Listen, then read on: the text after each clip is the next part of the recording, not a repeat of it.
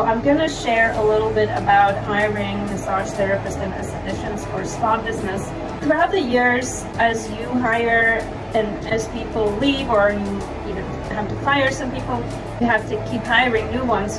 And the way that we retain and attract most of the talent is through a couple things. So first is reputation.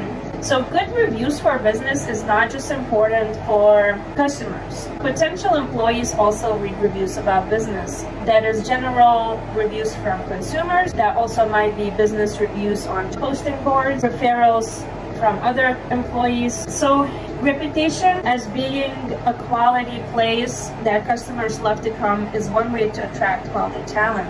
The other way to attract quality talent, of course, you gotta keep advertising your job openings. Don't expect people just to show up.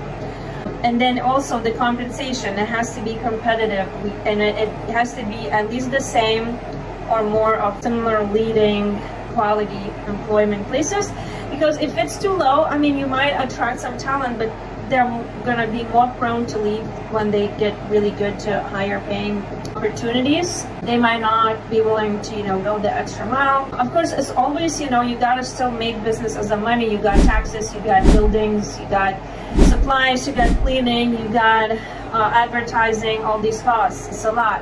And employees oftentimes don't understand how high those costs are and that you know your bottom line is only like 20% if that is is actually good. But you know if you pay them 45% commission they think oh well the business is getting like you know 55 no because you're still paying portion of their half of their tax. And like I said supplies building advertising advertising is one of the big costs besides taxes. And then location like whether it be business mortgage or rent cost lease costs but regardless, you gotta set up your business in a way that you're able to pay your people the same or above industry rates. For example, so at Brilliant Massage and Skin, I created a system that I'm able to do that because we have help from virtual receptionists and then we train our therapists certain tasks so that way we're able to pay them a very competitive rate and not burn them out doing way too many massages a day. We have you know pretty flexible time off policy where we approve a lot of like vacations time. They're not paid vacations, you know, but they are full straight commission employees with bonuses that they get as well. So those are the main important things. It's really your business reputation. Is there other quality people working there? Because top performers, they want to work with other top performers, with other people that are good. Because if you hire someone that's like collecting bad feedback, bad reviews, they're gonna make business look bad and then make other people look bad that work in that business. So you have to take swift action if that happens and let those people go because they're gonna ruin reputation. They can drown the whole business or if there's too much drama going on. So you have to keep the work dynamics culture really clean, of any negativity and keep the quality and feedback from customers, address any complaints in a prompt manner. And you know it's going to attract customers and it's going to attract employees. And keep competitive pay keep competitive prices. So that's why we have memberships so i know it's like a catch 22 you pay more but also have lower prices for consumers. It's hard right but that's where those systems come in so whether you running your own business, your own practice, keep those things in mind.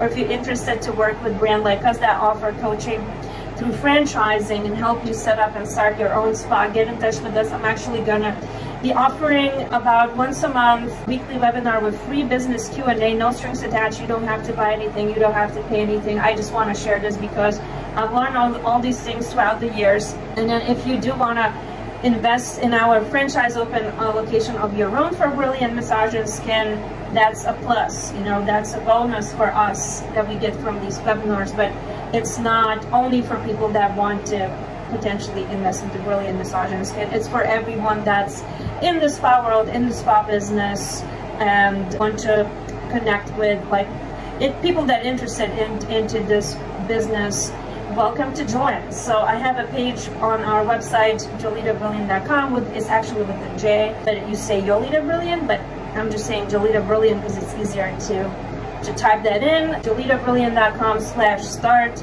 and I will see you then. Get on the email list and we'll send you out when that webinar comes out, okay? Have a brilliant day. Thank you for watching.